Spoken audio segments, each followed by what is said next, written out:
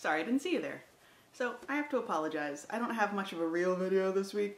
I'm working on the In the Style of Us video, but with all the moving and packing and painting and unpacking and repainting, it's just hasn't come together this week. But in the meantime, here's a freakish fact for you. Freakish facts. This is an unripe fig. And this is a fig Newton.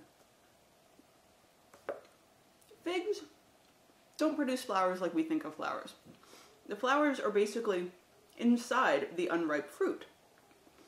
So there's this little opening at the bottom. Figs are pollinated by tiny wasps that crawl inside the fig to lay eggs and inadvertently pollinate the fruit while they lay the eggs. And once pollinated, the fruit will ripen and grow. However, this opening is protected by overlapping scales that prevent the wasp from being able to leave the fruit once it's inside. Not only that, but the opening is so small, the wasps often lose their antennae and their wings trying to get in.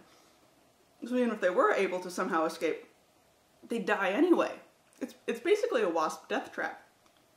Over time, as the fig ripens, the dead wasp body will be digested by an enzyme within the fruit that will ultimately become part of the final fruit. Every ripe fig contains at least one dead wasp. So the reason why there aren't wasp eggs in the figs that we eat is basically evolutionary biology. The wasps, the fig wasps and the figs co-evolve together. The type of wasp that fig growers use to pollinate the figs that we eat is not the type of wasp that co-evolved along with that fig. Basically, the, the styles of the flowers are too long for the wasp's ovipositor, what it uses to lay the eggs, so it can't actually lay any eggs. The wasp will move from flower to flower within the fig, inadvertently pollinating all the flowers, trying desperately to lay its eggs before it dies of exhaustion.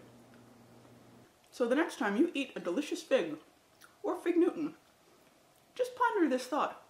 You're also eating pre-digested dead wasp juice.